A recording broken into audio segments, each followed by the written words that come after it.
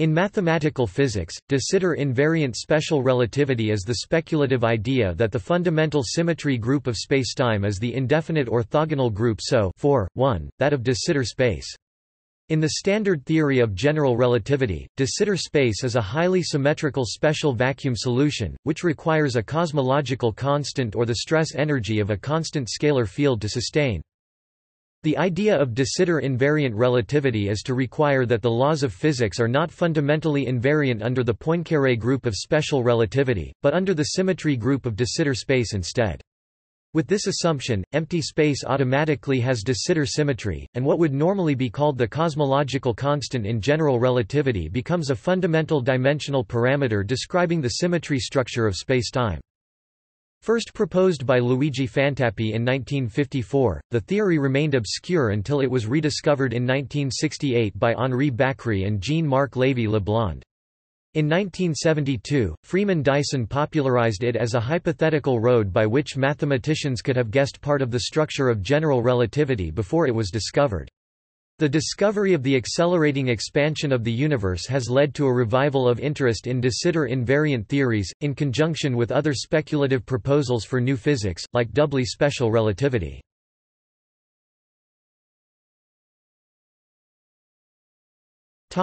Introduction De Sitter suggested that spacetime curvature might not be due solely to gravity but he did not give any mathematical details of how this could be accomplished. In 1968 Henri Bacri and Jean-Marc Lévy-Leblond showed that the de Sitter group was the most general group compatible with isotropy, homogeneity and boost invariance. Later, Freeman Dyson advocated this as an approach to making the mathematical structure of general relativity more self-evident. Minkowski's unification of space and time within special relativity replaces the Galilean group of Newtonian mechanics with the Lorentz group. This is called a unification of space and time because the Lorentz group is simple, while the Galilean group is a semi-direct product of rotations and Galilean boosts. This means that the Lorentz group mixes up space and time such that they cannot be disentangled, while the Galilean group treats time as a parameter with different units of measurement than space.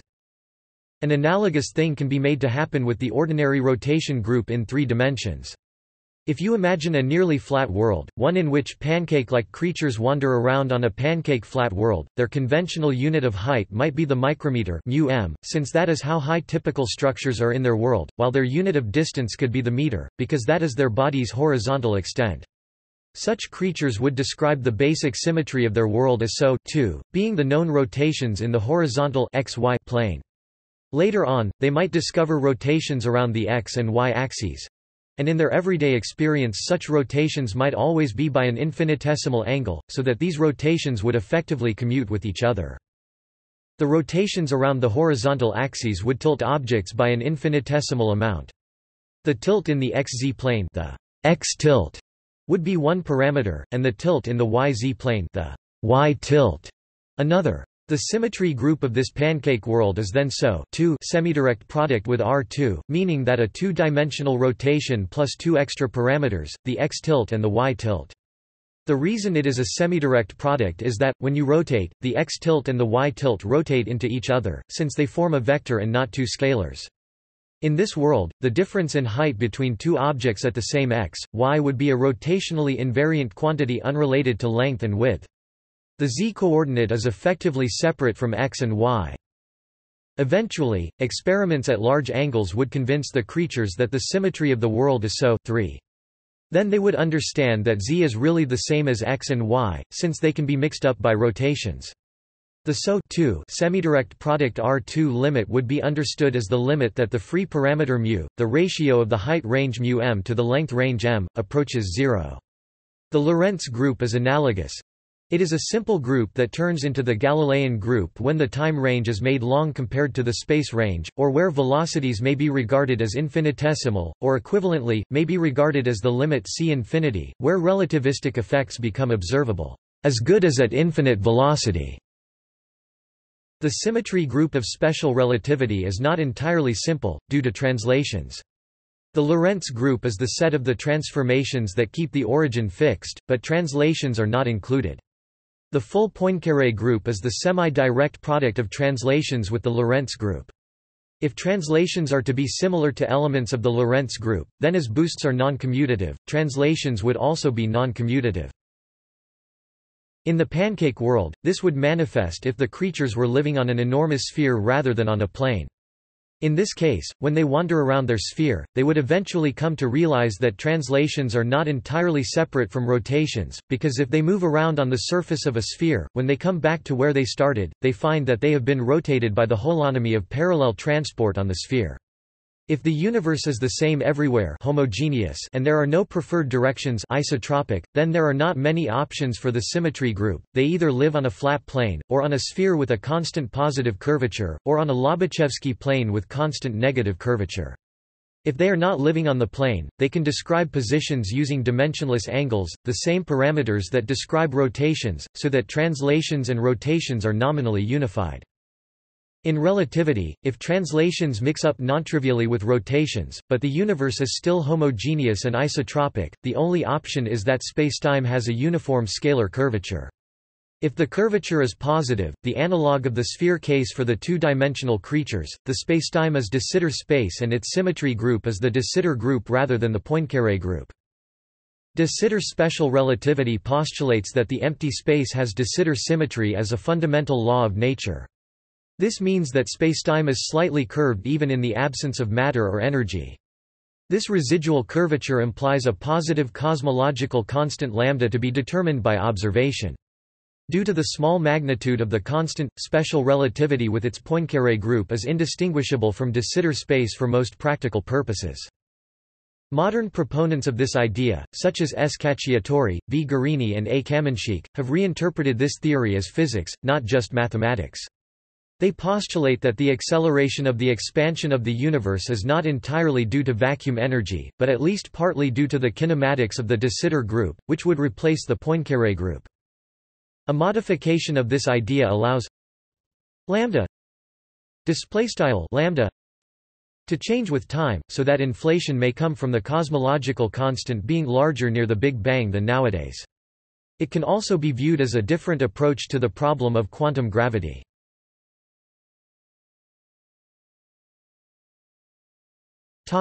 High energy The Poincaré group contracts to the Galilean group for low-velocity kinematics, meaning that when all velocities are small the Poincaré group morphs into the Galilean group. This can be made precise with Inonu and Wigner's concept of group contraction. Similarly, the de Sitter group contracts to the Poincaré group for short-distance kinematics, when the magnitudes of all translations considered are very small compared to the de Sitter radius. In quantum mechanics, short distances are probed by high energies, so that for energies above a very small value related to the cosmological constant, the Poincaré group is a good approximation to the de Sitter group.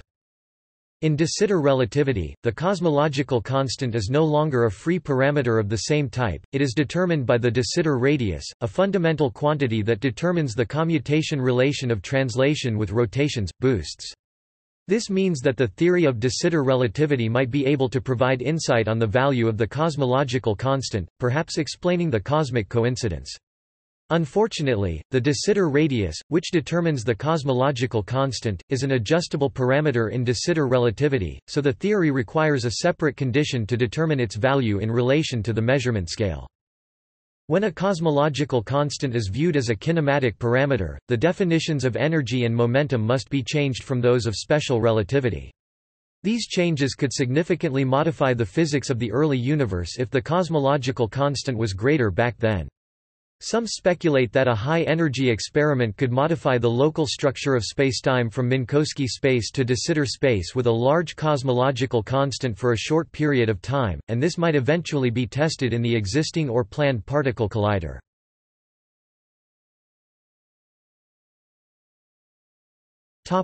Doubly special relativity Since the de Sitter group naturally incorporates an invariant length parameter, de Sitter relativity can be interpreted as an example of the so-called doubly special relativity. There is a fundamental difference, though, whereas in all doubly special relativity models the Lorentz symmetry is violated, in de Sitter relativity it remains as a physical symmetry. A drawback of the usual doubly special relativity models is that they are valid only at the energy scales where ordinary special relativity is supposed to break down, giving rise to a patchwork relativity. On the other hand, de Sitter relativity is found to be invariant under a simultaneous rescaling of mass, energy and momentum, and is consequently valid at all energy scales. A relationship between doubly special relativity, de Sitter space and general relativity is described by Derek Wise. See also MacDowell-Mansouri action.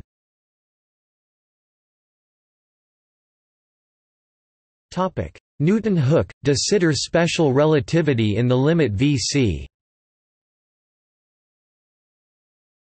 In the limit as Vc, the de Sitter group contracts to the Newton-Hooke group.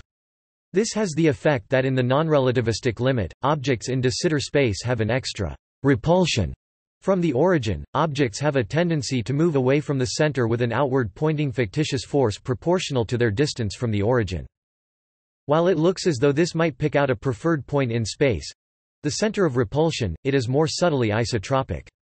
Moving to the uniformly accelerated frame of reference of an observer at another point, all accelerations appear to have a repulsion center at the new point.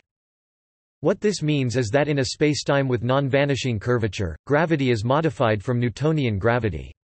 At distances comparable to the radius of the space, objects feel an additional linear repulsion from the center of coordinates.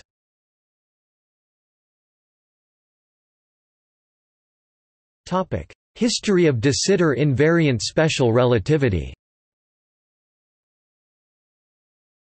De Sitter relativity is the same as the theory of projective relativity of Luigi Fantappiè and Giuseppe Arcidiacono first published in 1954 by Fantappiè and the same as another independent discovery in 1976. In 1968 Henri Bacri and Jean-Marc Lévy Leblond published a paper on possible kinematics. In 1972 Freeman Dyson further explored this. In 1973 Eliano Pessa described how Fantappiè Arcidiacono projective relativity relates to earlier conceptions of projective relativity and to Kaluza-Klein theory. Han Ying Guo, Chao Guang Huang, Zhan Xu, Bin Zhou have used the term de Sitter special relativity from 2004 onwards.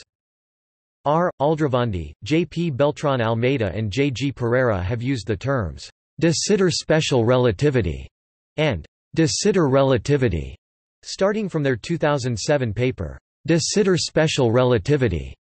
This paper was based on previous work on amongst other things, the consequences of a non-vanishing cosmological constant, on doubly special relativity and on the Newton-Hooke group and early work formulating special relativity with a de Sitter space from 2006 onwards. Ignazio Licata and Leonardo Chiatti have published papers on Fantappiè-Arcidiacono theory of relativity pointing out that it is the same thing as de Sitter relativity, in 2008 S. Cacciatori, V. Gorini and A. Kamenshchik published a paper about the kinematics of de Sitter relativity.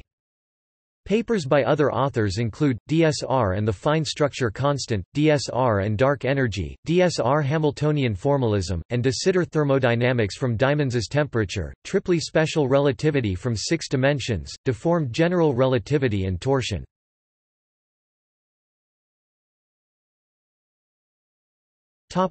Quantum de Sitter special relativity There are quantized or quantum versions of de Sitter special relativity. Early work on formulating a quantum theory in a de Sitter space includes